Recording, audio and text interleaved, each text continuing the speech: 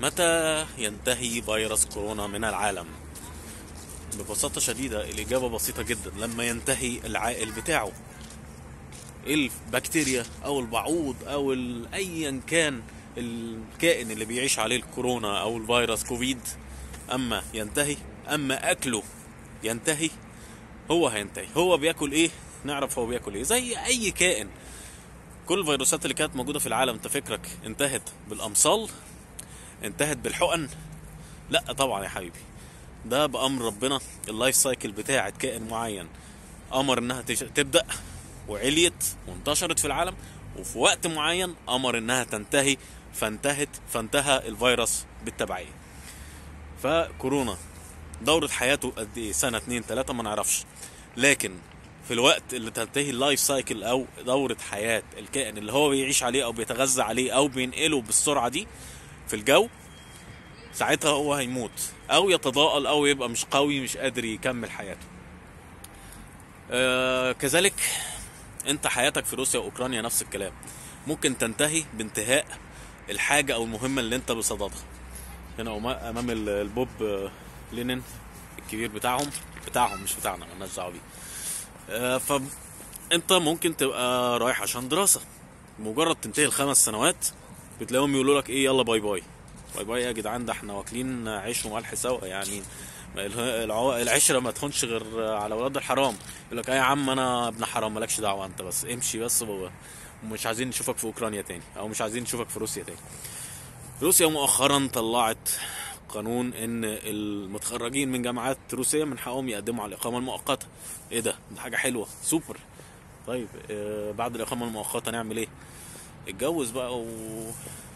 واعمل جنسية ولا خد إقامة دائمة. يعني شوف انت إيه اللي يناسبك. آه ساعات بيبقى في يعني عارف رغبات دفينة جوه الواحد هو مش باينها. هل انت عايز تعيش في روسيا وخلاص؟ ولا عايز تعمل حاجة معينة في روسيا؟ واللي هي دورة حياتك هتعيش عليها. اللي هو انت وظيفة معينة مش موجودة في بلدك تشتغلها هنا. يعني أنا بستغرب الناس اللي جاية هنا روسيا علشان تشتغل في كافيهات. الله هو حضرتك ما عندكش كافيه في بلدك؟ هو انت كنت شغال شغلانة تانية وأنا ما أعرفش؟ هو انت جاي تكتشف الكافيهات هنا في روسيا؟ لا. هل المرتب اللي بتاخده wow قوي؟ يعني يعني فارق كتير عن اللي كنت بتاخده في مصر؟ صدقني في ناس كتير شغالة في كافيهات في مصر. ظاهريا هو غلبان ومرتبه ضعيف وكل حاجة بس بيلقط رزق وبياخد tips كويسة وبيشتغل حاجات جنب الموضوع ده و... وأنا عارف وأنتوا عارفين. آه، فيمكن سكته حلوة أحسن في في بلده من آه، روسيا. فأنت جاي هنا تكتشف سر ال- اللي محدش عرفه يعني سر المطاعم سر الكافيهات لأ. آه، لازم أنا بقول ليه لازم؟ لأنه لازم. إن أنت تشتغل في حاجة جديدة. حاجة مش هتلاقيها غير هنا غير في روسيا. تتفرد بيها وتجيب لك دخل كبير و... وتخليك مرتاح. مرتاح مش مش بس فلوس لا نفسيا كمان. انت مرتاح إن انت بتعمل حاجة بتحبها. آه، حققت حاجة ما كنتش عارف تعملها في مصر علشان مثلا إيه الحاجة دي جماركها ما بتخشش مصر مثلا. بيمنعوها في الجمارك أو في الكاستمز أو في كده يعني. حاجات مثلا عايز تتاجر في حاجة الحاجة دي طبعا غير المخدرات يعني ولا السلاح والكلام ده. بتتاجر في حاجة هي مسموح بيها في في بلد زي أوكرانيا أو روسيا. فدي بت- بتتيح لك إن آه تتاجر في الكلام ده وتجيب بيزنس كويس وإنك أنت فاهم في الحاجة دي أصلا. بس المشكلة إن في مصر ادخالها البلد صعب. أو مثلا تشتغل في حاجة هي ما دخلتش روسيا قبل كده. أنا كل ده بتكلم عليه تجارة يعني حاجات كده. ده غير لما- اتكلم بقى في السياحة انت ممكن تعمل يعني أحد الناس الناجحين ما شاء الله في بيرم مدينه بيرم مصري آه، واحد مصري يعني شغال في السياحة بيعمل سياحة داخلية لروسيا للروس. ودي الشطارة دايما أقول لك إيه لما تيجي تشتغل اشتغل على إنك تطلع قرش من الروس. يعني ناس كتيرة من الموجودين في أوكرانيا وروسيا أول ما يجي يشتغل ويبقى فرحان لقيت وظيفة وبتجيب فلوس كويسة. أيوه إيه بعمل دعوات للطلبة العرب. يعني بتمص دم الطلبة العرب. يعني كأنك قاعد لسه في الوطن العربي ما خرجتش منه. انت ظا- ظاهريا عايش آه، معلش في في الكادر ورا كده بنات محجبات. ما عشان إحنا في إيه؟ في جمهورية فيها مسلمين فيها مسلمين. يعني أنا مش بأكد قوي على حتة إن يقول لك جمهورية إسلامية. آه، لأن الجمهوريه الاسلاميه ده يعني كل فيها مسلمين والإدارة مسلمة وده مش صحيح. مش كلهم مسلمين ولا الإدارة كلها مسلمين. فيعني ما ولا نقدر نقول مثلا إيه دي جمهورية مسيحية برضو لأن برضو فيها مسلمين مش كلهم مسيحيين. فتمشي كده وتمشي كده. فما ممكن نقول آه، المدينة دي فيها مسلمين المدينة دي فيها مسيحيين المدينة دي فيها يهود. زي أوديسا مثلا فيها يهود كتير. نقول فيها يهود ما نقولش عليها دي مدينة يهودية. في ناس تقول لك كده إيه ده؟ أوديسا يهود يعني. عشان لقالوا مثلا 10 يهود ولا حاجة.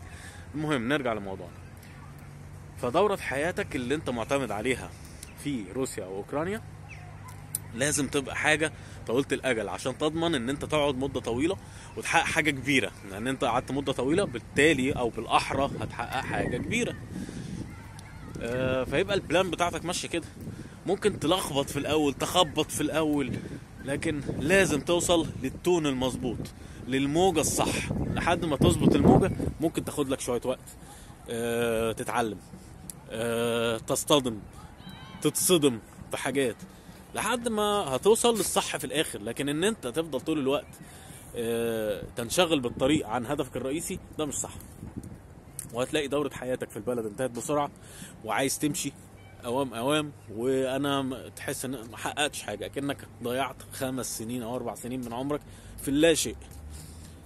وده بيحصل. أنا مش بتكلم على حاجة مثلا آه، غيبيات ولا ولا بخمن. لا دي وقائع بشوفها مع ناس. آه، ناس هتموت عشان تخش أوكرانيا وناس تانية بتتمنى وبتحلم باليوم اللي هتسيب فيه أوكرانيا. صدقني روسيا نفس الكلام. ناس ب... يعني يقول لك إيه أنا خلاص مش طايق البلد دي وهمشي. وبيعد خلاص الأيام علشان يجمع تمن التذكره ويمشي ويسيب البلد. بنشوف السيناريوهات دي. يا ريت دورة حياتك ما تنتهيش مع انتهاء الكوفيد لأن الكوفيد يصير وينتهي إن شاء الله لكن أنت دورة حياتك لازم تكمل ونجاحاتك لازم تستمر وتشوفها قبل ما تسيب البلد. ومش لازم تسيب البلد ما دام جيت يبقى لازم تجيب فلوس من أهل البلد مش من جلد من أه- أولاد جلدتك من أبناء جلدتك اللي هم العرب. حاول دايما تكون آه، سباق بأفكار مش موجودة حتى عند الروس والأوكران اللي عايشين في البلد.